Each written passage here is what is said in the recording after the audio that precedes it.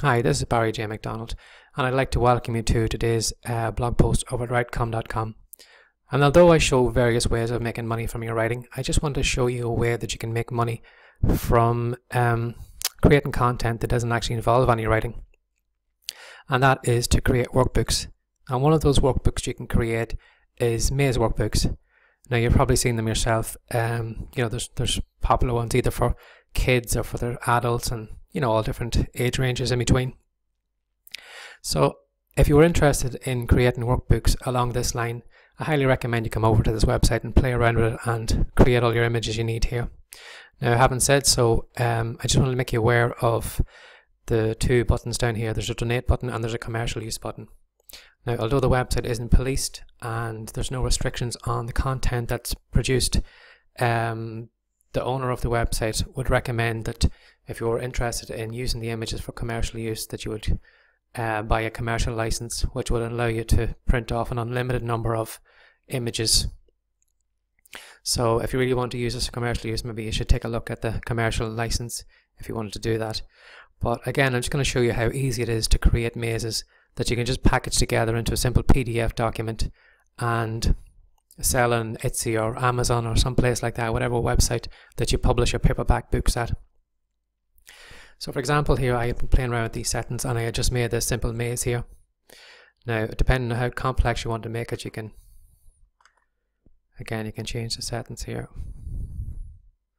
It's going to generate new and as you can see there it's completely changed. So by playing around with the settings here, the size settings, um, where the, the maze starts, whether it's at the top or whether it's at the bottom or an inner room, you can create totally unique um, mazes that you can sell. So in this case, as well as creating the mazes, what I like about this website is it gives you the options to to to give solutions to the puzzle.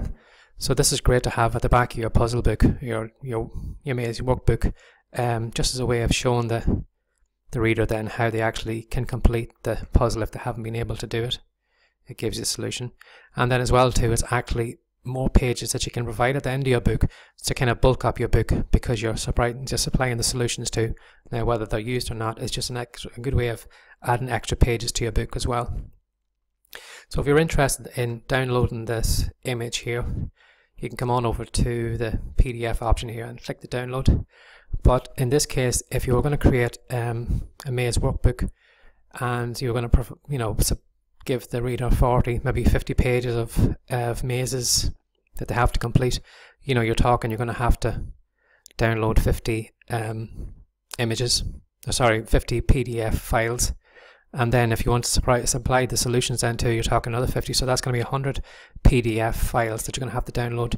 And then you're going to have to go to a website to where you can um, combine them all together one by one into one big huge PDF file. So I recommend that you just don't dismiss this option here because it's going to be too time consuming. And again, just come down to one of these options here. These options are for image images that you can download, either an SVG image or a PNG image. Now the PNG image then allows you to put it onto a white background, so it's a transparency, it'll go onto the background and it'll look well in any kind of document.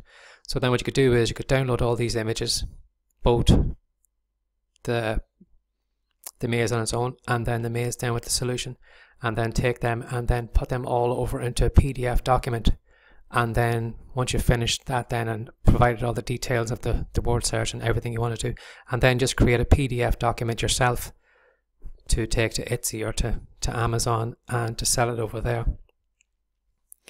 So I hope you liked today's uh, video. It's been a simple, as I said, it's just a way of you know getting an income without actually writing a single word. Just coming over to a website like mazegenerator.net and just you know creating simple workbooks that you know haven't got much labor in them. Just a matter of just changing the settings, creating unique mazes, and then packaging them all together in a PDF document, and then selling them on Amazon or Etsy or whatever website you want to sell them. So my name has been Barry J. McDonald, and that has been today's blog post over at writecome.com. Thank you.